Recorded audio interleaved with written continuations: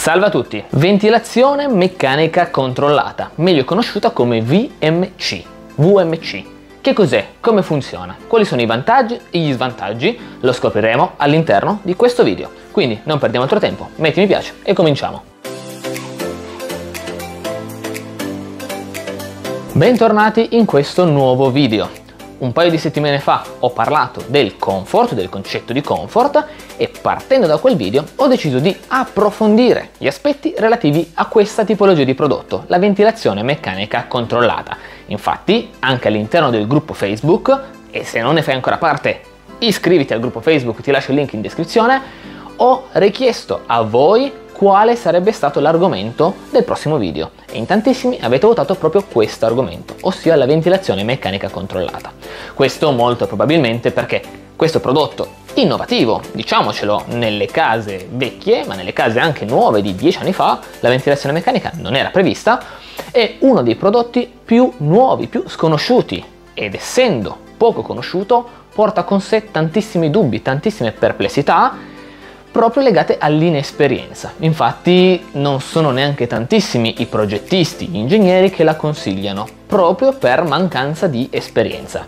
All'interno di questo video ho quindi deciso di rispondere, di introdurre la ventilazione meccanica proprio secondo tre aspetti fondamentali. Come funziona, quali sono i vantaggi e quali sono gli svantaggi. Mi raccomando, resta con me fino alla fine del video perché introdurrò anche quelle che sono le differenze tra i vari modelli presenti sul mercato. Ma bando alle ciance, partiamo. Come funziona la ventilazione meccanica controllata? Qual è il suo ruolo?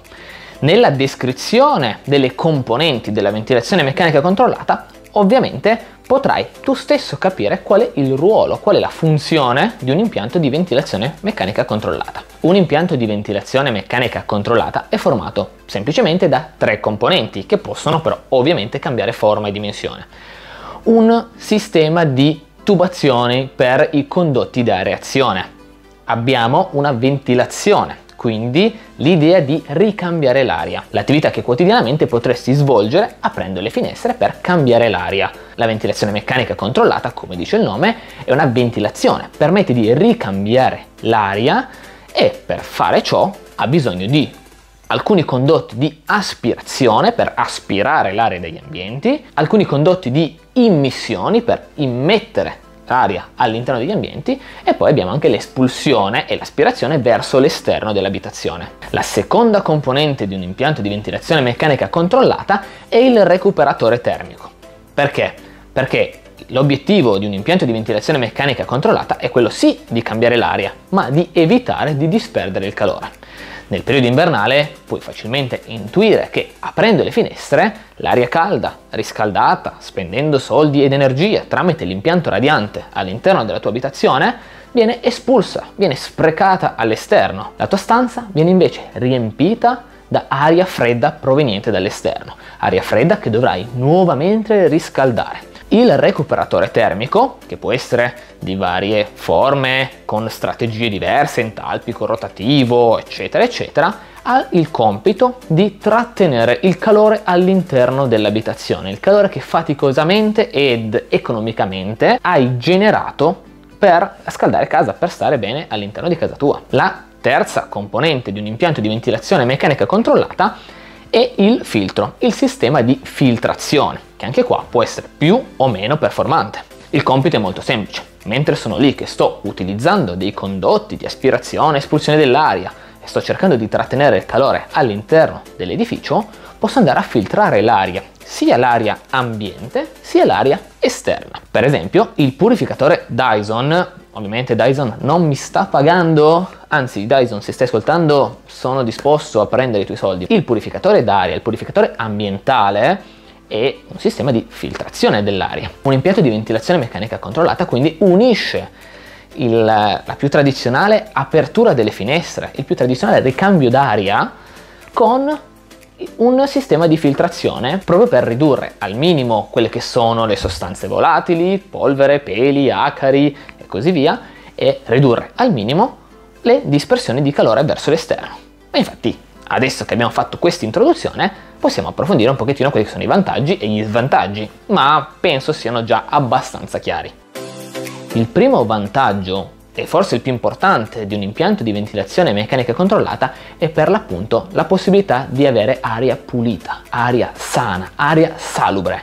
Questo lo si ottiene secondo i due meccanismi che ti ho appena spiegato, cambiando l'aria interna con l'esterno, quindi vado a espellere l'aria ricca di umidità, l'aria ricca di CO2, perché all'interno dell'abitazione. Respiriamo e introduciamo eh, vapore acqueo, eccetera, la vado a espellere. Nel frattempo vado a introdurre aria sana, aria più fresca, più ricca di ossigeno. E tramite il filtro vado a ridurre l'introduzione di PM10, PM2,5, vado a raccogliere all'interno del filtro muffa, polvere, peli, capelli, acari, tutto quello che solitamente è presente all'interno dell'aria senza che noi ce ne accorgiamo proprio perché quando tu apri la finestra dall'esterno entra l'aria con il suo smog, con la sua fuligine se sei in zona montana e la gente è solita scaldarsi con i sistemi a biomassa.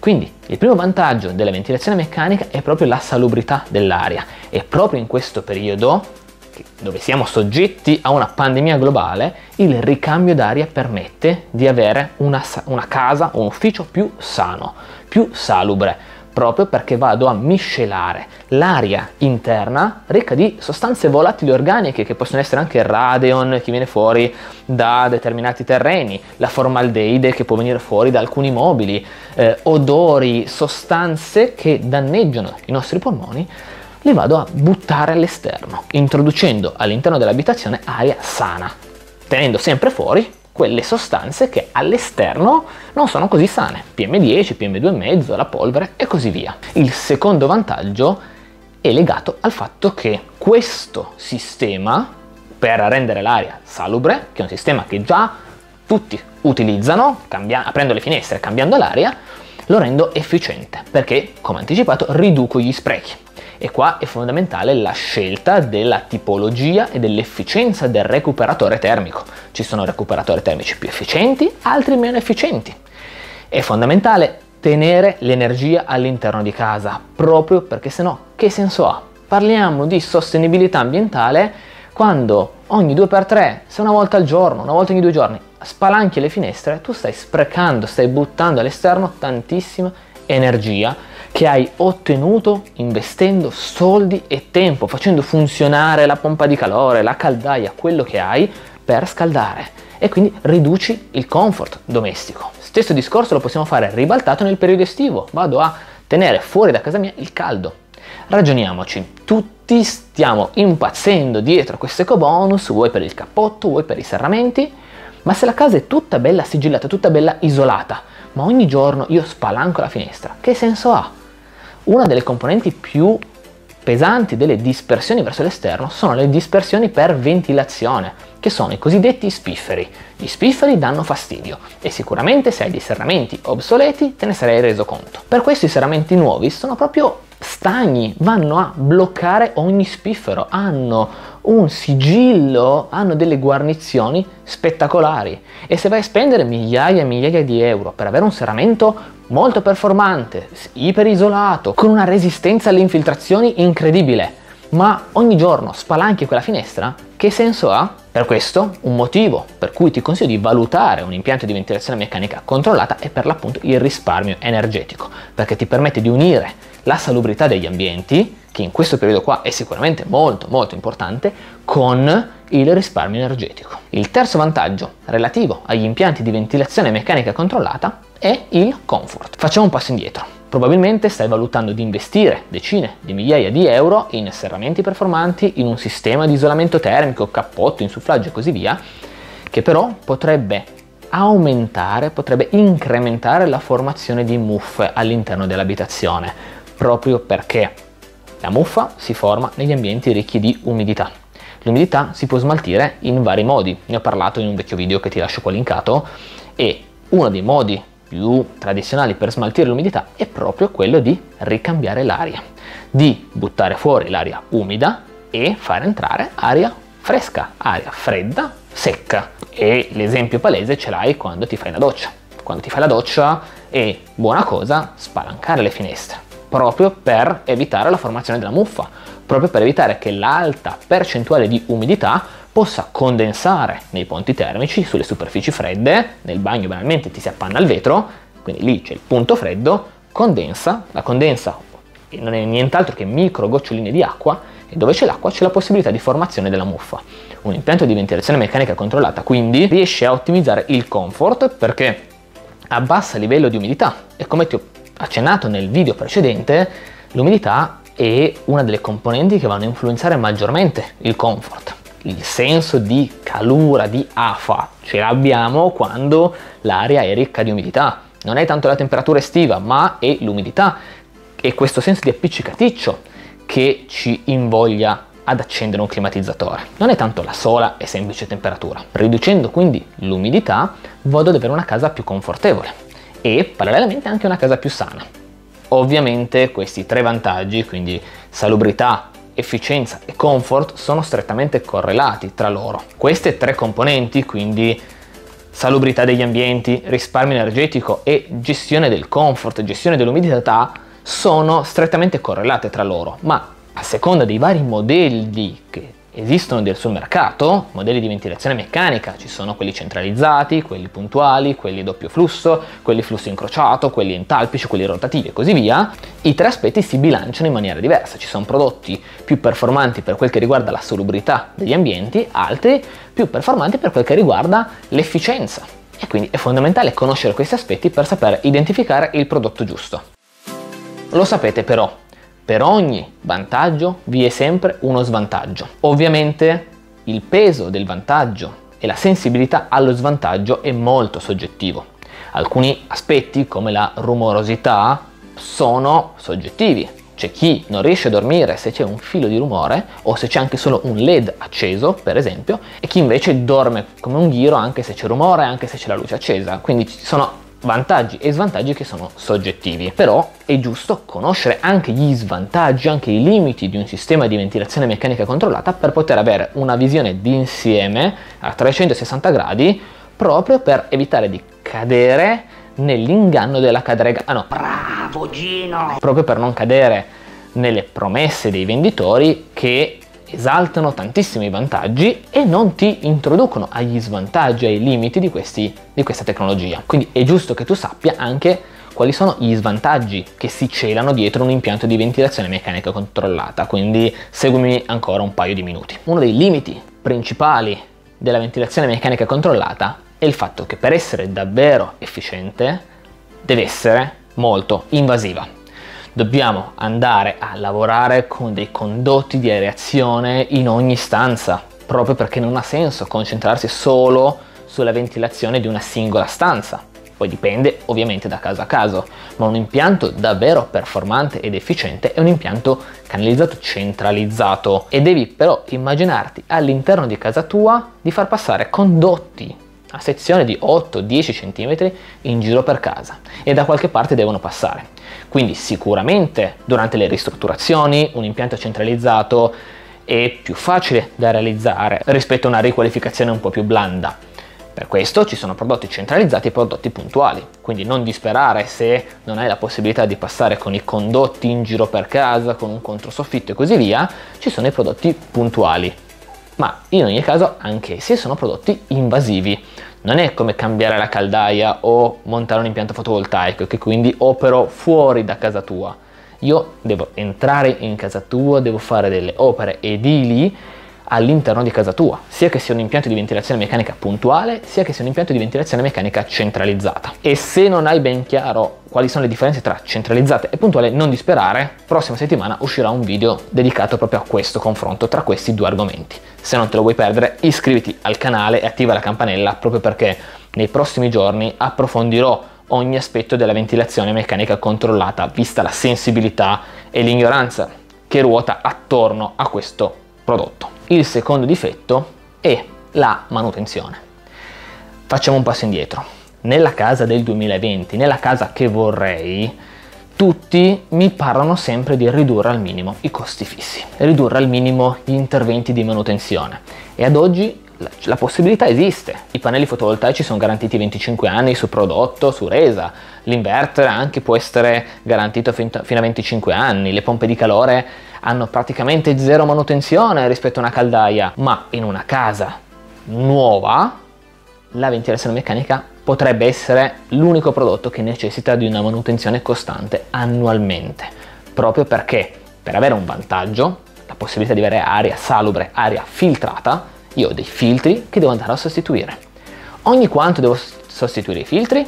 Non te lo posso dire. Può essere sei mesi, può essere un anno, può essere due anni. Dipende ovviamente da dove abiti. Se abiti in centro a Torino, visto che eh, spesso vedo la nube di smog attorno a Torino, è consigliabile forse cambiare i filtri una volta all'anno. Se abiti invece in mezzo alle montagne, potrebbe essere sufficiente una volta ogni due anni. Fatto sta che c'è una piccola manutenzione annuale da mettere in conto e oltre un aspetto di tempo di intervento è anche un aspetto economico. L'aspetto economico è molto blando, parliamo di meno di 100 euro all'anno, sia chiaro, però è un aspetto da considerare. Cioè in una casa tutta moderna dove gestisco tutto dal cellulare e posso non muovere un, un dito, perché dopo tutto stiamo diventando sempre più pigri, ma chiamiamoci stupidi, cioè la tecnologia ci permette di essere comodi, allora perché non essere comodi? La ventilazione meccanica controllata necessita di una manutenzione, di un'attenzione maggiore. Poi ovviamente tutti questi impianti spesso sono dotati di sensori che ti avvisano di quando è necessario cambiare il filtro e così via. Un pochettino come un aspirapolvere. Anche all'interno dell'aspirapolvere ci sono dei filtri che vanno ogni tanto puliti, vanno svuotati, nessuno si fascia la testa. Però è importante conoscere che esiste questo difetto. Terzo e ultimo difetto degli impianti di ventilazione meccanica controllata risiede nel costo.